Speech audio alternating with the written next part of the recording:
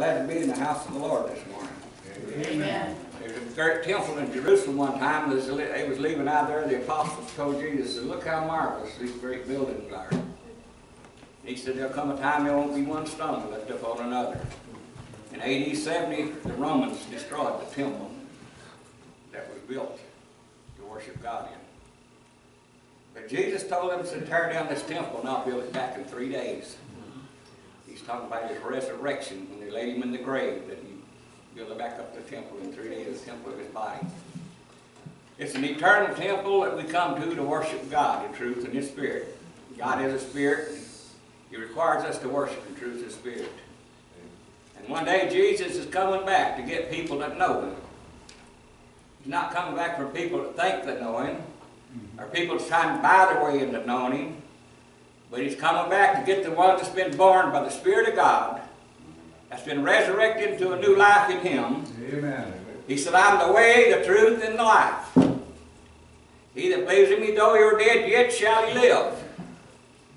Someday he's coming back to get us. I'll tell you that right now. Amen. I'm looking forward to that. My body's about wore out down here, and I want a brand new one. I want to sing the song that the angels can't sing. I've been redeemed by the blood of the Lamb. Think about that this morning. If you're here today, you ought to be happy in the Lord. There's nothing else in the world like it. Amen.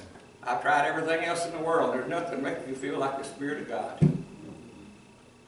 So today we need to worship God in spirit and truth, lift our voices up to Him and praise Him. I'm not ashamed to praise Him. I'm not ashamed to shout for Him. I love Jesus this morning. We'll try, try one here. Like I said, my voice ain't too good. I've noticed that when I was singing there, but we'll try one. Well, sometimes I close my eyes and think of heaven, a city where the chill of night will not steal the day. But I'm sure that flowers almost hear the voice of Jesus say, Good morning, child. Welcome to this brand new city. Make yourself at home. You're free to roam here on this shore. It'll be so good to be at home in my new mansion. Extended arms, may God reach out to draw you home. And then sometimes I close my eyes and think of Jesus and how he died upon the cross for you and me.